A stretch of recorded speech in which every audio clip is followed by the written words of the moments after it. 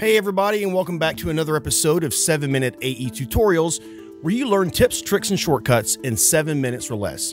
No BS, just AE. In this episode, we're going to take a look at toggle hold keyframes. There are three basic types of keyframes, linear, Bezier, and toggle hold. The thing that makes toggle hold keyframes special is that they're the only ones that have no transition from keyframe to keyframe, meaning animation jumps in value once it reaches the next keyframe instead of moving over time. You can apply toggle hold keyframes to anything that's keyframeable, and I'm going to show you some pretty interesting properties to apply toggle hold keyframes to. There's a lot to get through, so let's dive right in. Okay, so now I've set up a few comps to show you some examples of how toggle hold keyframes can come in useful. Just a quick note before we jump in too far. Toggle hold keyframes will only continue to be made as long as your first keyframe is a toggle hold keyframe. And I'll show you what I mean real quick. Let's hit T for opacity and let's put a keyframe, say like right around here, right click, toggle hold keyframe. And then if we move that further down the timeline and we make another keyframe, it'll make a linear keyframe. Let's get rid of these. If I make a toggle hold keyframe first, right click, toggle hold, then I move further down the timeline and make another one, it will make a toggle hold keyframe. So it's not a major issue, but it's just something that can get kind of annoying. If you know you're going to make some toggle hold keyframes and you go backwards, it will make a linear keyframe. Let's do this blinking expression. So this is the example for opacity. Put a keyframe at the beginning of our timeline here, right click, toggle hold keyframe and then shift page down will go for 10 frames. We'll make that value zero and then shift page down again and we'll make this 100 so if we loop that area we'll see this is what we're going to get.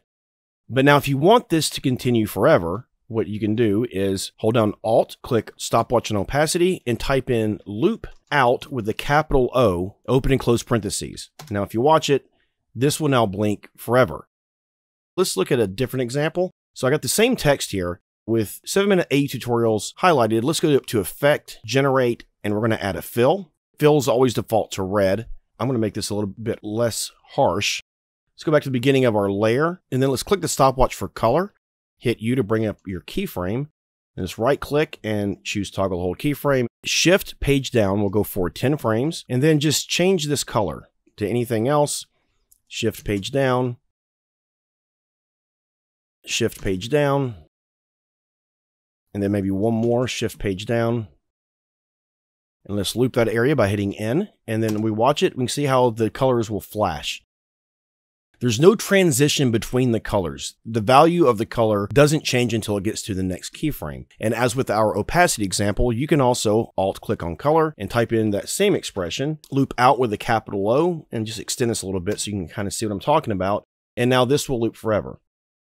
Okay, so our next example, let's go to this matrix text. Okay, so this is going to involve a few different things. First, let's right click on our text, go to create, and we're going to create shapes from text. And I've covered this in a few other tutorials. If we open up our contents, we'll see that every letter gets its own group. Highlight all of these, and then in our search box here, type in position.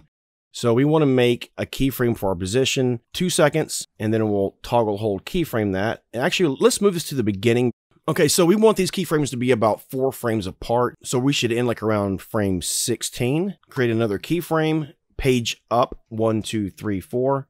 I'm gonna move this up a little bit. One, two, three, four. I'm gonna go up even further. One, two, three, four. Go up even higher. The first keyframe we want to be completely off screen. If we loop this area, this is the effect that we get. But now watch what happens if we start to offset these keyframes. And we're just going to kind of move these around a little bit. And they don't even have to go in order. It's actually a little bit better if they don't go in order. And the reason why I converted this to shape layers is so that way I could control each one of the characters. Watch it playback and just kind of play with these settings to get the look that you want. But the whole point is, is that you can control each character and offset them and create toggle hold keyframes for their position and then offset them to get a very interesting look for your text. Okay, so moving forward, let's go to the typewriter example. So let's go over to effects and presets and type in typewriter. Double click that. And then if we hit U to bring up our keyframes, we see that it puts in a preset distance for us.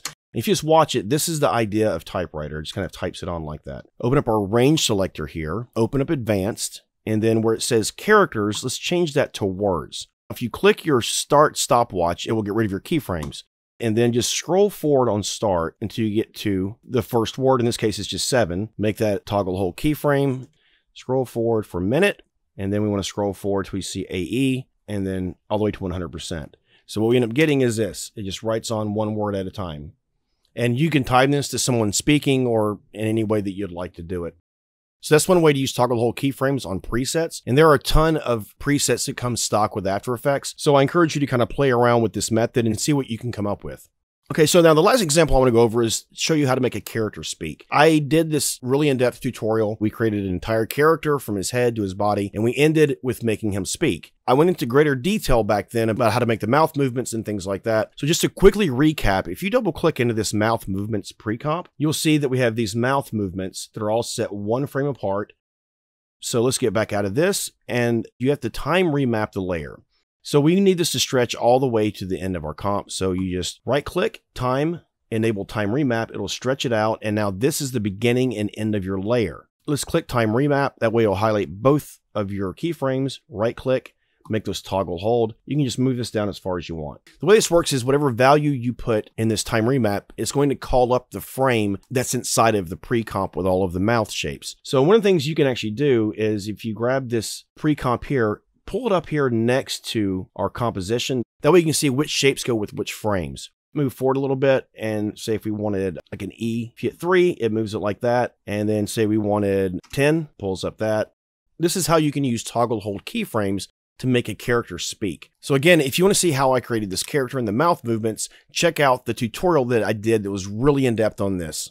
So those are just some of the ways that you can use toggle hold keyframes to do some pretty cool animations. If you've never worked with toggle hold keyframes, I highly recommend that you kind of play around with it and see what you can do. If you have used toggle hold keyframes before, think of other ways that you can use them in a more creative way. I hope that helped you out. Please comment, like, share, and subscribe. I put a link to the project file in the description below, and I'd love to get your feedback about this lesson. Reach out to me anytime on YouTube, Facebook, or shoot me an email with your suggestions about any topic you'd like to see covered, or just to talk about motion graphic design in general. Thanks for watching, everybody. We'll see you next time.